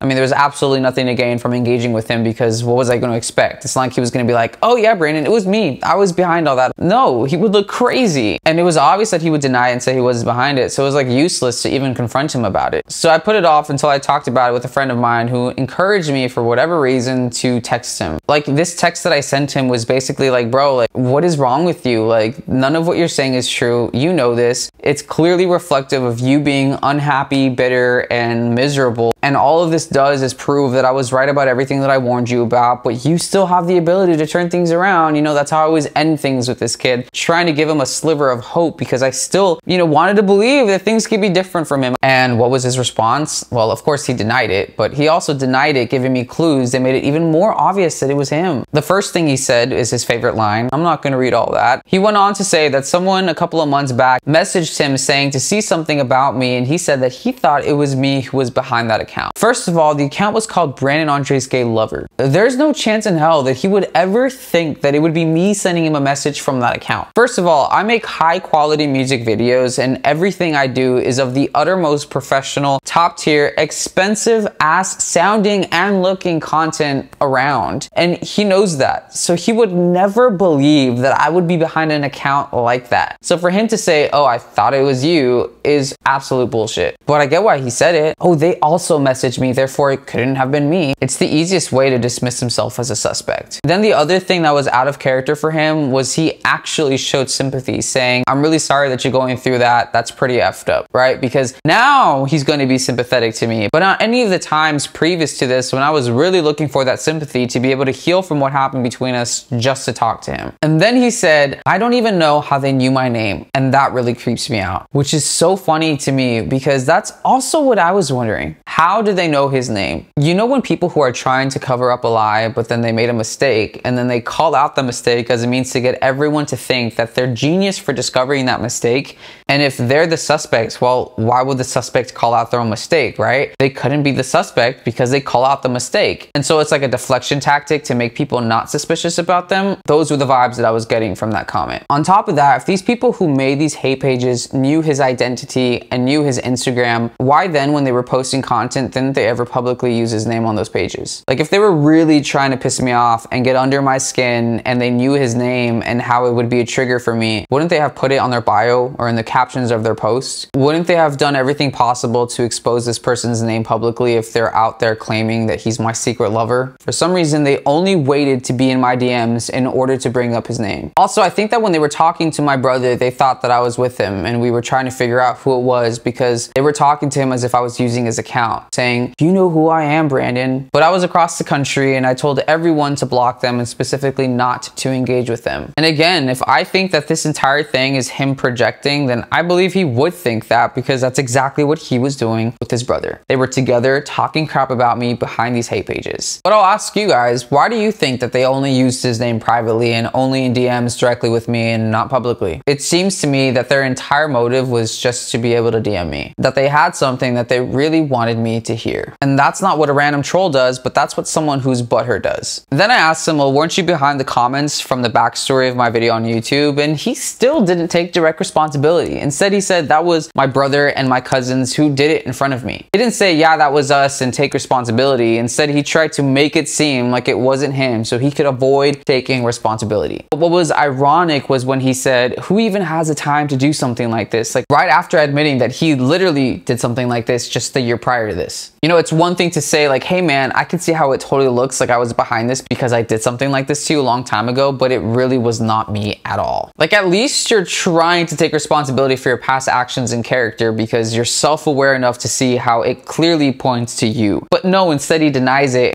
always evading responsibility and accountability. Like even if he were to say, well, it wasn't my idea to leave the hate comments on YouTube, that was them. Okay, bro, you still gave them information about me. You still showed them the video that I had sent to you. So clearly you were involved in all of it. He also said, you didn't hurt me and I don't have anything against you anymore and I'm living a really happy life. First of all, the last interaction alone was a massive indication that you were really hurt because if you weren't hurt, then you would have never texted me back. I'm not reading all of that. You would have just never read it. That's what indifference really looks like. But he said that because he wanted to hurt me back because that's what someone does when they still care about something. So for him to say that one of the biggest crazy events that transpired in his home in front of his mom that it didn't hurt him is a bald-faced lie. Secondly, no one who is happy needs to tell someone they're happy. Again, if I really did not care about someone and they told me that I was miserable and unhappy, I would literally like not care at all. Like I wouldn't feel the need to respond to them because that's how indifferent I am to their opinion of me. But of course it all makes sense as to why he would say that because all of this is rooted in me warning him about making life decisions that would ruin his life that he ended up doing and then subsequently live a life where he's stuck in McAllen. So of course I'm going to be the person he's going to try to prove wrong and to try to convince that he's happy. But happy people don't hurt people or hate people. And since we never actually had a mature adult conversation about what happened, it's because he never matured and grew up, which means he still thinks and acts like a kid. So of course I expect him to be influenced by his kid cousins and brother. Then what I think really gave it away was the last thing he said to me, which was, stop hitting me up. Every time you do, it's some weird shit. Please just leave me alone. Like seriously. What? When I read that message, I was like flabbergasted. I was just like, are you kidding me? Like, he literally managed to make himself a victim in this interaction. Mind you, the last interaction we had was when he texted me. So the fact that he said, stop hitting me up as if I was texting him all the time, bro, the way he twists and flips things around to paint this false reality. And what's crazy to know is that he's literally like me if I was godless. Like, he has his brother and his cousins and he leads them to do evil things. I have my my cousins and nephews and I lead them to do godly things. Like I would never let my family or friends on my behalf ever attack him like this at all. Like I teach my family to love, not this. He wants to grow following on social media because he wants to be worshipped. I want to grow an audience for my music because I have something that I want to give people that I believe they need. People follow him and look up to him for vanity reasons. People follow me and look up to me because they see the power of God in me. He attracts people because of a false image. I attract people because of my personality and how real I am. He's insecure. I'm confident. He dreams ideas and I get them done. I look at him and I see what my life would look like if I was en route to hell. There is no God in his heart, and I don't know what exactly happened to him to make him become this way, but at least I've learned this that if I still love him after everything he's put me through, that God has even more love for him than I do. And so my hope is in God still being able to redeem him. But after all this, I fully expected to never hear from him or the people behind the hate pages ever again. In fact, I wagered that if it was him and his brother, then I wouldn't ever see these hate pages again. Why? Because they said everything they wanted to say. So what more can they do? If they were just random trolls, they would still be at it because it wouldn't be personal. It would be just to cause chaos. But that's when I took in everything and thought, I don't know why you still hate me. Like, seriously. I thought we talked. You said you weren't mad at me. It didn't mean anything. Yet here you are making hate pages of me on Instagram. So I was like, you know what? You think that these songs are about you? Well, they're not. But guess what? Now I'm going to make a song about you. And that was the entire premise behind I don't know why you still hate me. It was to placate to their statement of being obsessed. Then that morphed into what would be the most extreme thing I could do to take their messages and their hate and make a joke out of it. And it was to fly back down to McAllen and film the entire music video of me taking over their town. And boy, was that so much fun. As I said before, every time I try to communicate something with this kid, it was always with like a punch and like a, hey, I don't hate you though. You know, I know how sensitive this kid is and I could literally destroy him with just my words. But the thing is, even after everything he's done to me, I just still didn't have it in me to hurt him. That's the thing, like the entire music video wasn't me trying to hurt him. It was more like, bro, you're literally so funny. Like, I think you're forgetting who it is that you're dealing with here. And, and like, no one does this. Who flies down to their cyberbully's hometown and stage a takeover? Like, bro, I'm wild. Like, it's crazy. But then it makes sense too when you know the whole story. You know, it makes sense as to why it was important for me to go down there and heal from my trauma. It makes sense why I still say in the music video that I'm still gonna love this person. The whole point of this music video and song was to show power, you know, real power. Real power is to have evil come up against you to try to invade your spirit and take you over and swallow you whole, but lose. I could have destroyed this kid the day everything went down in McAllen. I could have called the cops and pressed charges on him for laying hands on me. I could have actually exposed his name and what he did and sent those messages directly to his modeling agency and get all my fans to write his agency emails so that they would drop him. I could expose him as a bully on TikTok and tell everyone what his Instagram and TikTok name is so that he could get canceled. I have power to destroy him instantly if I really wanted to, but I don't want to. I just want him to stop being lost. I just know that all of this still wasn't enough. It wasn't enough to make me stop being his big bro, and it wasn't enough to stop loving him. I still believe in the commitment I made to him that night in my car in front of his place in Bakersfield. And if anything, this entire story is about me never wavering from that commitment. To be there for him, to look out for him, and to remind him of who he once used to be. You know, that night in my car in front of his house, when he was opening up to me about everything that he was going through, and, you know, I'd asked him, bro,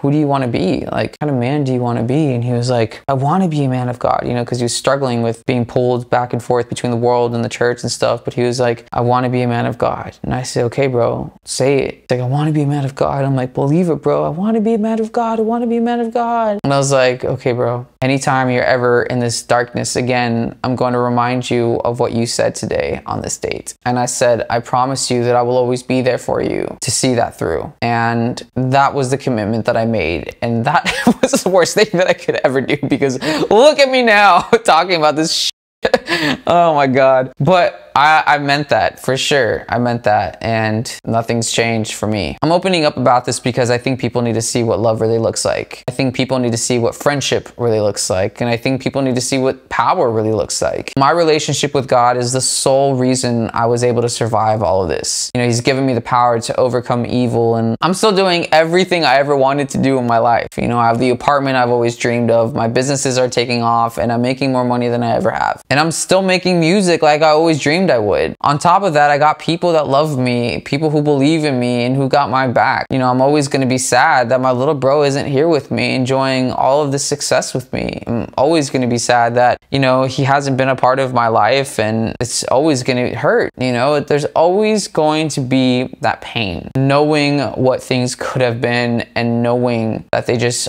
aren't. And I think that the thing that hurt me the most about all of this wasn't what happened in McAllen. It wasn't about how he kept shutting down an opportunity to discuss the event, and it wasn't that he created hate pages that cyberbullied me. The thing that hurt me the most that he did was knowing that at one point in my life, he was the closest person to me, and he watched as I did pretty incredible things with my life. He saw me speak my plans into existence and actually make my dreams a reality. He saw as I built community and how I loved other people. You know, he saw how I overcame hardship and was fearless in the face of adversity. He was a first-hand witness to God's power in my life. And instead of taking everything he saw me do to apply to his life to be a successful, God-fearing, absolute top G king, he became a loser. That was the worst thing he could do to me. He chose to lose over and over and over and I couldn't believe it. He became the antithesis to everything I ever stood for. He had the choice to have a completely different future, a better future. You don't get friends like me in life. You really don't. Like I know I'm special and I used to think that people would forget about me whenever they would leave my life. Until recently, I had several people from my past come back into my life and I realized that why did I ever think I was such a forgettable person when the reality is that you can never forget about me. I'm not someone people just forget. I'm someone people will always remember. And you can't pretend my friendship was disposable because it's not. I've seen how I've impacted people's lives because I really am one of the few people who actually mean it when I say I love my friends. And you know, I think it's easy to look at the situation and think maybe he was just using you all of that time when your friendship was never mutual. Well, no, none of my friendships have ever been mutual, but that's the point. I'm always gonna love people more than they will ever be able to love me because God loves me more than I could ever love him. And as easy as that would be to believe that he was just using me, you know, he would have been really bad at that because he never did anything with any of the opportunities that I ever presented him. But I know that this dude has to, on some level, still have love for me deep down in his dark, twisted, evil heart. Like he knew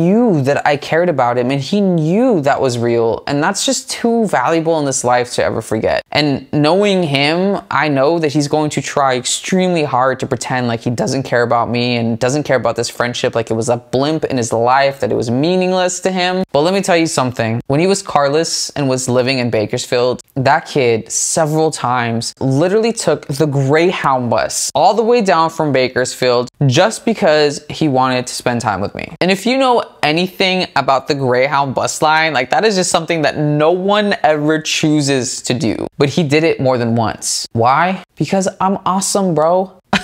Every experience he ever had with me was fun, was valuable, was good. And there was only one day where that wasn't true. I know that he loved his big bro, but this experience showed me something about God that I could never forget. You know, here I am so angry at him, not for what he did to me, because I forgave him for that like three days later after the event, but I'm so angry because I couldn't understand why he chose to lose in this life. And it's like a scene in the movie where you see this character who had all the means to save themselves and then they end up dying in the most stupid way and you're just like yelling at them because you're just like, bro, the lifesaver was right there. Why would you just let yourself die when you didn't have to? The answer was right in front of you and you were just too stupid to see it. That's what this felt like, you know? But then God revealed me this. Brandon, now you get it now you understand my love for humanity. That I have so much love to give them and I have plans to give them a better life, a better future, eternity with me to win. And I pursue them day after day, hoping that they would just come to me to receive everything, but they just won't.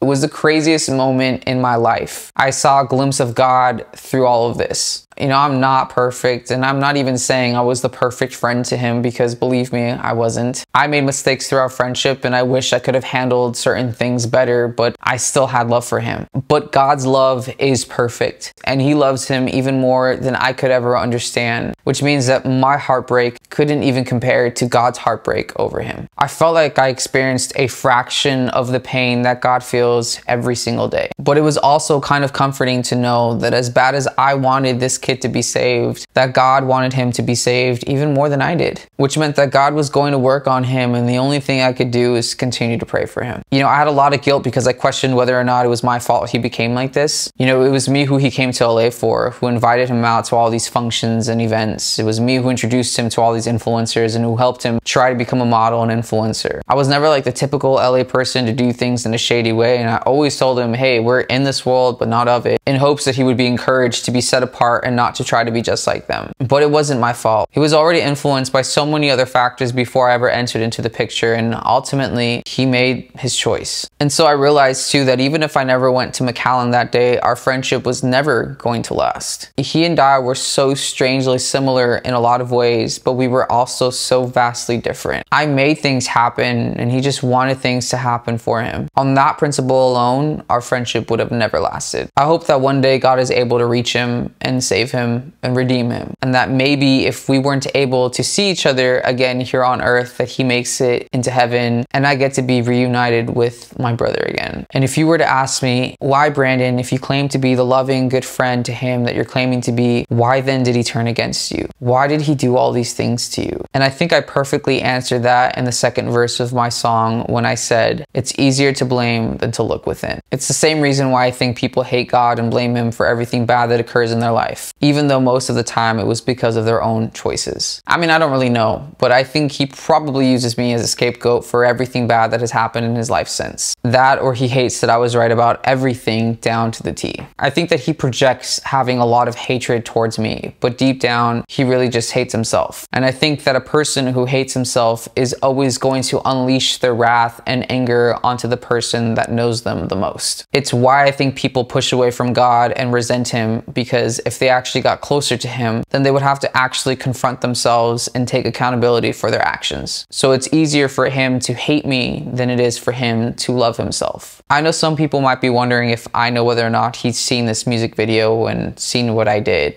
and I don't really know. What I do know though is that last week a new hate page appeared on the scene, and it's definitely most likely them, and they made plans to take over my hometown of Chino Hills, and apparently followed everyone in McAllen who was a part of the music video, as I was told. I thought it was pretty funny because I don't even live there anymore, but if we believe that the original hate pages were him, then this means that this is them, and they did find out about it, and they did see it. And it makes sense too, because it's been two months since it's been out, so it was pretty expected that this would fall on his radar at a certain point. But hey, maybe it isn't him after all. Maybe there really is someone else out there who's crazy obsessed with me and his friendship. I don't even care anymore. Whatever they try to do next, I'm no longer going to give any attention to it. I did what I did and it's time to move on. And if it ends up being that it really wasn't actually him or his brother being behind all these hate pages and hate messages, well, oh well. I mean, he's still responsible for everything that happened, so tough luck, bro. But thank you to whoever else it could have been because you helped me make peace with a situation that long affected me. You allowed me to turn this messed up situation into a song where I was able to film a dope music video and go back to a place to confront my trauma to get my power back. Like, all of this needed to happen in order for me to finally, once and for all, be set free from all of this. You know, it took me three years to be able to come to this point right here to speak about all of this, especially with a lot of growth and self reflection and understanding and, and, grace. I've learned so much along the way and I feel so much stronger as a person. And I'm so thankful I was able to turn my pain into my purpose. I win and I am always going to win. So that's all I have to say about that.